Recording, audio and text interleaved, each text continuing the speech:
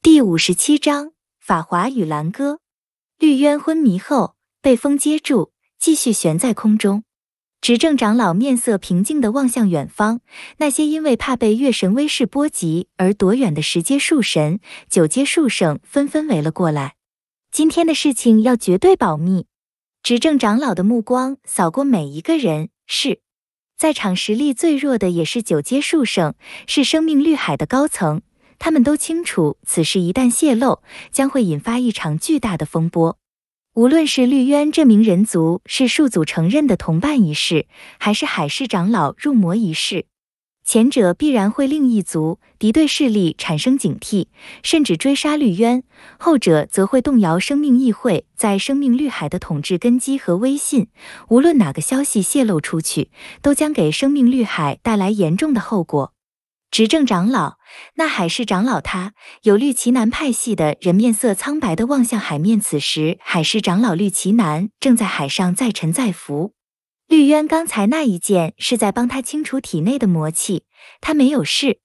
执政长老的话让所有人松了一口气，因为无论如何，绿旗南都是生命绿海的三位月神之一，是顶尖战力。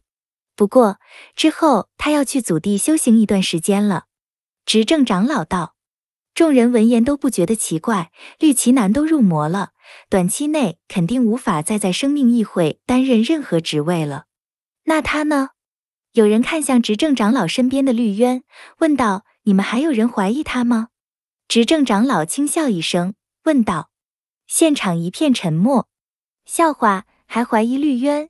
如果说之前那场亦便是大长老故意制造出来的，那这次的事情呢？他们可是亲眼所见啊！而且事实已经摆在眼前了，绿渊不只是树祖的眷者，还是树祖认可的同伴。这类人在大灾变时期也出现过，他们有什么成就，这群人心里也是有数的。先回去吧，一切等他醒来再说。执政长老道，他刚才跟我说。他已经找到了治本的方法。什么？真的吗？生命议会众多高层听到这里，大喜过望。嗯，一切等他醒来再说吧。执政长老说完，用风裹住绿渊和海面上的海市长老绿旗南，然后化作一道流光腾空而起，消失在了原地。众多树神和九阶树圣也都纷纷散去了。今天这场战斗的具体情况注定要烂在他们的肚子里了，不会广为流传。但是，仅仅是他们这群人对绿渊态度的转变，就已经向大家提前宣告了一件事：绿渊在生命绿海的地位彻底稳如泰山了。三天后，绿渊从昏迷中醒来，他环视了一圈，发现自己正在家中。你醒了。忽然，一个声音响起。绿渊转头望去，在洒满阳光的窗台上，发现了一株鹿角状的碧绿色植物，看起来它才被浇过水。大长老绿渊虽然不知道这是什么植物，又是什么手段让它能够发声，但还是听得出声音是谁的。海市长老去职，我有太多事要忙，没办法来见你。你之前告诉我，你找到了治本的方法，我们该怎么做？执政长老问道。我之前在地下世界的一个洞穴中发现了一幅壁画，绿渊简单讲解了一下壁画的内容。按照我的推断，白色圆球的那些碎块很可能就代表着生命之能。您觉得呢？执政长老道：“你这么一说，我倒是回想起了时听过的一些传闻。但是，就算他们可以补全生命绿海缺失的生命之能，我们要怎么去找呢？用生命监测仪呀！”绿渊脱口而出。生命探测仪、生命监测仪这两种东西是数百年前的妖精创造出来的。前者可以小范围探测生命之能，后者可以更大范围的监测一片海域、一片大陆的生命之能。这些年来，生命绿海也一直想要复制生命探测仪和生命监测仪，但始终没能成功。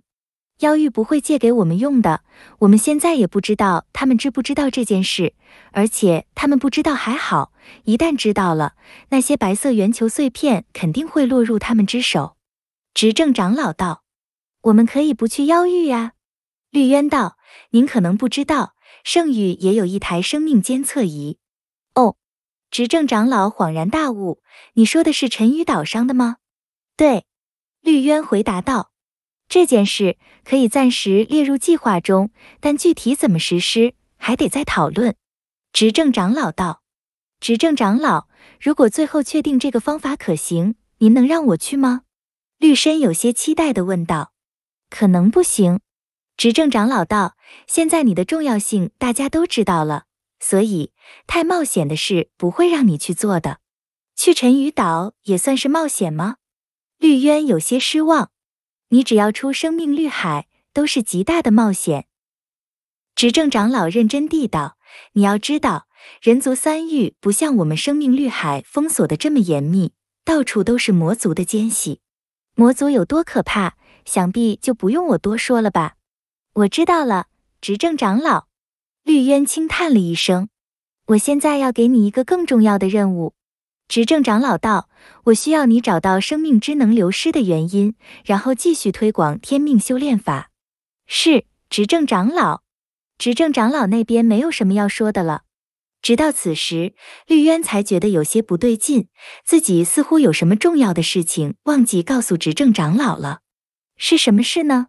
绿渊努力回忆着，好像是关系到一个人。一个女人，怎么就想不起来了呢？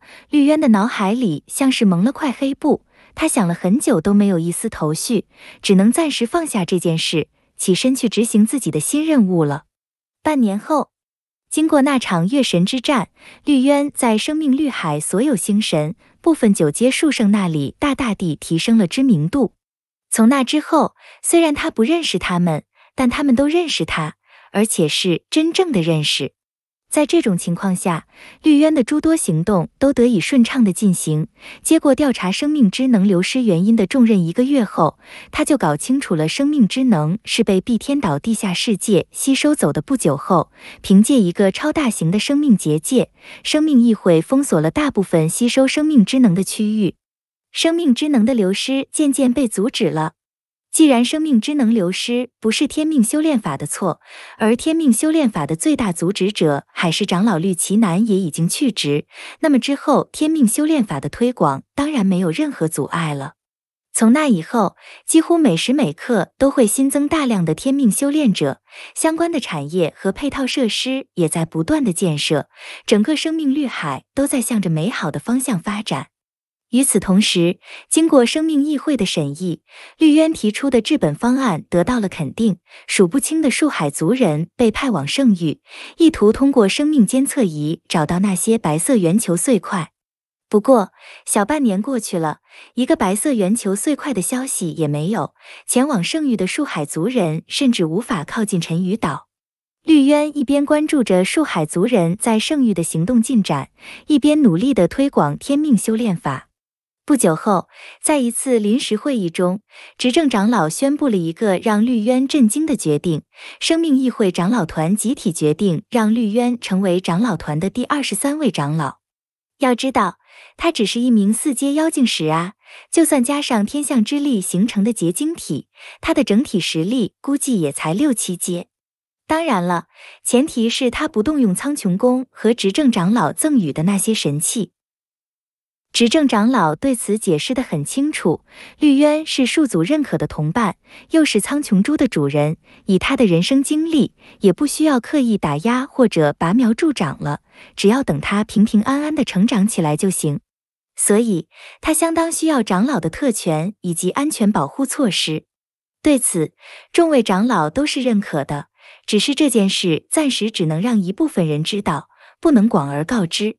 大概也只有等绿渊的实力达到八九阶的时候，他们才会将这个消息昭告全生命绿海。生命议会已经做出了决定，绿渊自然没有拒绝的道理。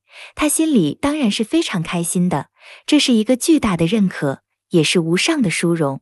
在成为生命议会长老团的长老后，虽然绿渊管辖的范围依旧和以前一样，也还是专注于天命修炼法的研究与推广，但是他觉得自己肩膀上的担子更重了。